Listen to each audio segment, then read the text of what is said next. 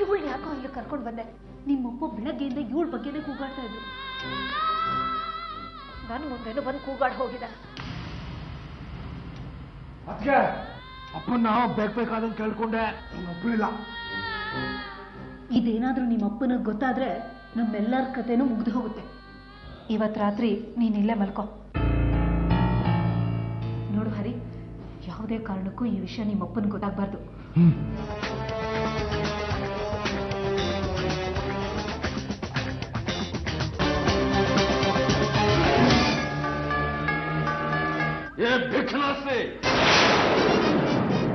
ಎಷ್ಟೇ ಧೈರ್ಯ?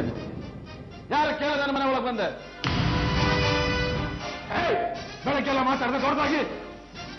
ಬೆಳಗಾಗುವಷ್ಟರಲ್ಲಿ ಇವಳು ಹೆಣ ನೋಡಬೇಕಾಗತ್ತೆ. ಕರ್ಕೊಂಡು ಹೋಗು ಇವಳನ್ನ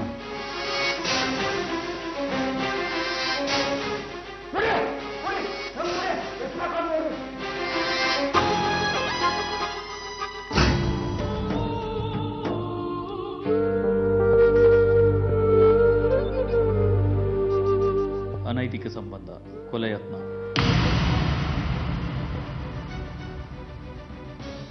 ಇದು ದೇವದಾಸಿ ಪದ್ಧತಿಯಲ್ಲ ಅನೈತಿಕ ಸಂಬಂಧ ಪೊಲೀಸ್ ಸ್ಪಷ್ಟನೆ. ದೇವದಾಸಿ ಆಚರಣೆ ನಡೆದಿಲ್ಲ ಎಂದು ತಹಶೀಲ್ದಾರರು ತನಿಖೆ ನಡೆಸಿ ಖಚಿತಪಡಿಸಿದ್ದಾರೆ. ದೇವಸ್ಥಾನದ ಮುಖ್ಯಸ್ಥ ರಂಗಸ್ವಾಮಿಗೂ ಅಮಿತಾಗೂ ಸಂಬಂಧ ಇತ್ತು. ಎರಡು ವರ್ಷದಿಂದ ನಡೆದಿತ್ತು ಪ್ರೇಮ ಪ್ರಕರಣ. ಅವ್ರನ್ನ. ಶೂಟ್ ಮಾಡಬೇಕಾಗಿತ್ತು. ಕೋವಿ ಇದ್ರೆ ಖಂಡಿತ ಹಾಗೆ ಮಾಡ್ತಿದ್ದೆ. ಏನು ಮಾಡ್ಲಿ? ಕೋವಿ ಇರಲಿಲ್ಲ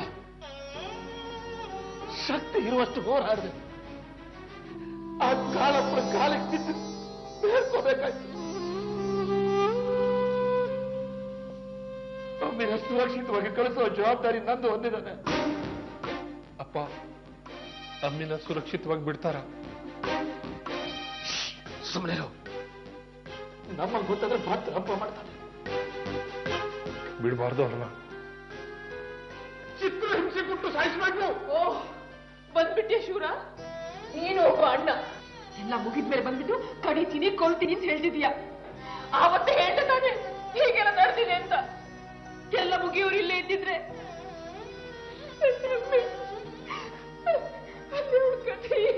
ಸ್ವಲ್ಪ ಸುಮ್ಮನೆ ಇರ್ತೀಯ ನೀನು?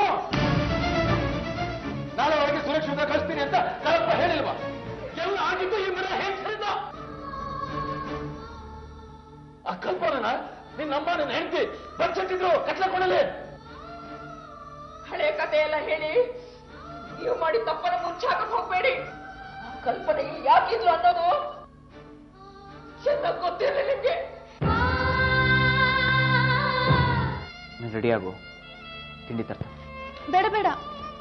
ನನಗೆ ತಿಂಡಿ ಏನು ಬೇಡ. ನಿನಗೆ ತಿಂಡಿ ಬೇಡವಾ? ಯಾಕೆ? ಇವತ್ತು ಹಾಸ್ಟೆಲ್ಗೆ ಹೋಗ್ತೀಯಾ? ಇಲ್ಲ. ರಜಾ ಅಲ್ವಾ? ಹಾಸ್ಟೆಲ್ ಇಲ್ಲ.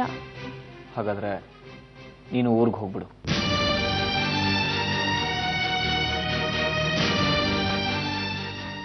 ಇಲ್ಲ ಪ್ರಣವ್. ನಾನು ಇಲ್ಲೇ ಇರ್ತೀನಿ. ಎಲ್ಲ ಭಯ ಬೇಸರ ಕಳೆಯೋದು ಅವ್ರವ್ರ ಊರಲ್ಲೇ. ನಮ್ಮವರು ಅಂತ ಇರ್ತಾರಲ್ಲ. ನೀನು ನನ್ನವನೇ ತಾನೆ. ಅಮಿತಾ ಈಗ ನೀನು ಊರಿಗೆ ಹೋಗದೆ ಕ್ಷೇಮ. ಪ್ರಣವ್ ಯಾಕೆ ಒತ್ತಾಯ ಮಾಡ್ತಾ ಇದೀಯಾ? ಒತ್ತಾಯ ಅಲ್ಲ ಅದೇ ಒಳ್ಳೇದು.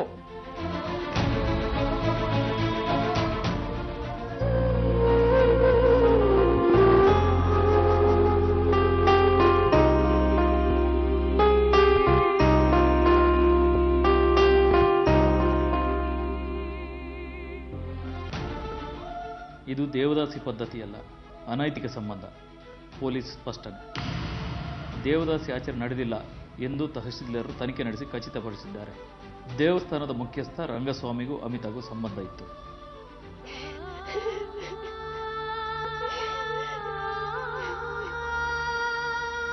ತನನ ಧೀಂತ ತೋಂ ತನನ ತೋಂ ತೋಂ ತನನ ಧೀಂತ ತೋಂ ತನನ